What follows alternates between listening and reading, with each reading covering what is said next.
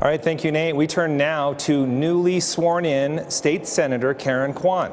That happening just today. She won a special election that took place on Saturday, on a Sunday and Monday. So she is taking the place of outgoing Senator Karen Mayne. She, of course, announced her resignation earlier in the month due to health concerns as she has been battling cancer. Now, Senator Kwan comes from the Utah House of Representatives. That means there is a vacant seat to fill there now, and one person stepping up to do that. Her name is Verona Mauga. She wants to replace Senator Kwan in House District 31, and she has Kwan's endorsement. This is what Kwan is saying. She is the person I trust to continue my legacy in the House. She has my full support.